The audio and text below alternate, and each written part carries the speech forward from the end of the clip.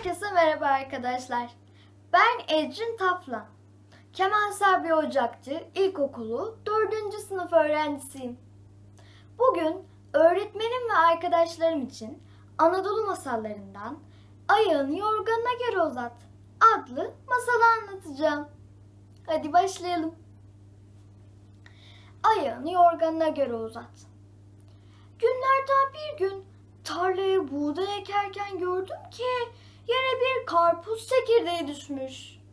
Karpuz büyümüş. Hava da çok sıcaktı. Kestiğim sapsız çöpsüz karpuzu tepesinden. Bir de ne göreyim? Karpuzun içinde bir şehir. Meraktan girdim içeri. Bir de baktım ki güzel mi güzel, tertemiz bir yer. Ee dedim. Ben de yıkanayım, paklanayım. Buldum bir hamam, girdim içeri. Kurnası var, tası yok. Bir oturuyor başında, fesi yok. Gittim yanına, başladım anlatmaya. Bir varmış, bir yokmuş. Zamanın birinde padişahın biri ülkenin en iyi yorgancılarını toplamış ve bana bir yorgan dikeceksiniz demiş. Elbette padişaha yorgan dikmek zor iş.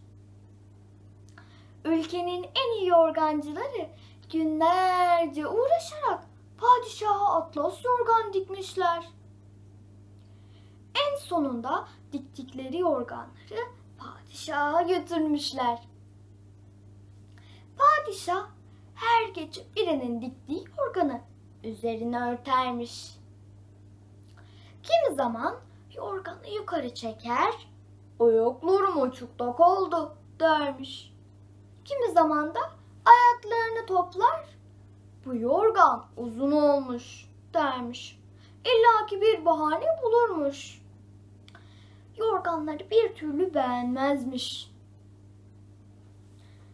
Artık neredeyse ülkede padişaha yorgan dikmeyen yorgancı kalmamış.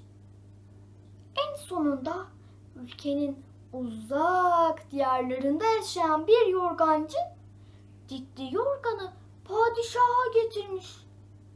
Ama bu yorgancı diğer yorgancılar gibi saraydan hemen gitmemiş.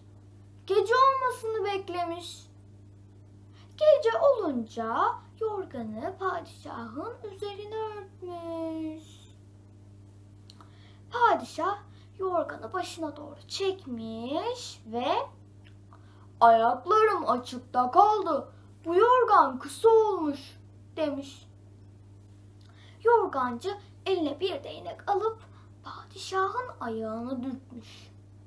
Padişahım ayağınızı yorganınıza göre uzatın demiş. Padişah yorgancıya dönerek sen kazandın ben yorgan aramıyordum. Sarayın işlerini yapacak akıllı birini arıyordum demiş. Akıllı süslenmeyen yetenek meğer bir işe yaramıyormuş. Bizim akıllı yorgancı da o günden sonra sarayda akıl danışılan, hatırı sayılan biri olmuş. Gökten üç elma düşmüş.